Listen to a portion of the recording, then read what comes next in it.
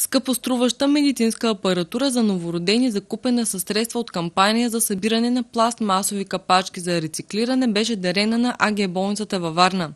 Бебешки реанимационен кът с отопление за интензивно лечение и първични грижи на новородени бе закупена и дарена от кампанията, в която са се включили над 500 000 души, събирали и предали за рециклиране пластмасови капачки. Тази благородна инициатива обхвана по невероятен начин от хора от всички възрастови диапазони, от всякакви житейски поприща и ги обедини в желанието да помогнат, най-вече безкорисно, да проявят социална ангажираност и да помогнат от сърце.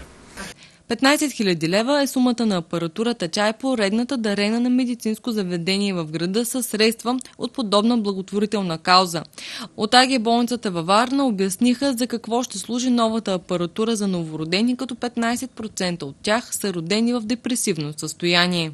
Това е мястото, където се извършва а, първична реанимация при състояния, в които има нарушения в дишането, в сърдечната дейност на детето, т.е. деца, които са родени в депресивно състояние, така че на практика тя обслужва, би могла да обслужва и ще обслужва всички новородени с източник на топлина, това, което е изключително важно за едно новородено дете, с възможност за аспирация, т.е. има и аспирационна система, има и източник за подаване на кислород. На 29 септември тази година предстои голям голяма благотворителна акция, като пред катедралния храм Свето Успение Богорошно във Варна в голям контейнер, предназначен за целта, всички варненци ще могат да донесат своите събрани капачки, с които ще подпомогнат за закупуване на медицинска апаратура за болница Света Анна във Варна.